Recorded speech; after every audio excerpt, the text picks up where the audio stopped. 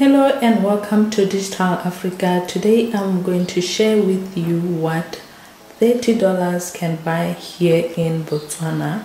So we just made the small groceries and the total amount was 299 Pula 75 Thebe, which is equivalent to almost $30.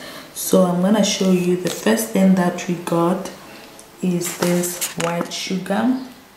This white sugar was 29.95 which is like two dollar nine cents. And then this is 2.5 and then we got the 5 kg medium maize meal um, white star which is um, its cost it costs um 32 pula 95 thebe and then we got this two one liters of milk. It's full cream long life milk which is um which is uh, each is 13 pula 95 and then we got this seasoning the Worcestershire sauce for cooking which is 13 pula 13 pula 95 and then moving on to the vegetables and uh, the the vegetable I have here this bulb of cabbage. Um, the cabbage was the cabbage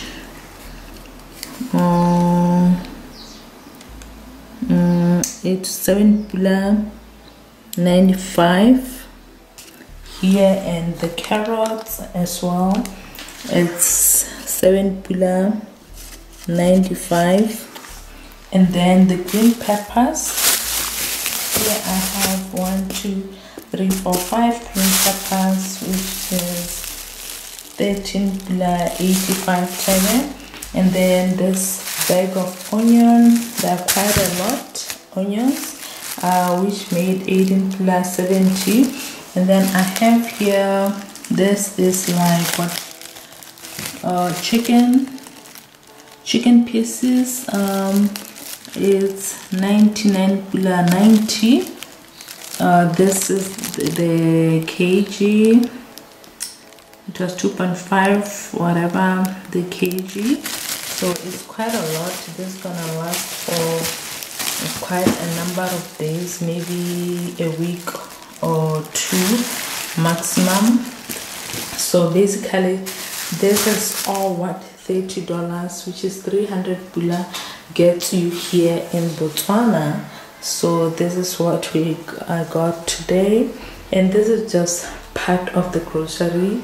It's not everything. We're just topping up what we needed. So thank you so much for watching and don't forget to give this video a thumbs up and also give share if you would like to share it. And also if you haven't yet subscribed to this channel subscribe for more content like this. And also turn on the post notifications so that whenever we upload videos such as this you'll be able to be notified.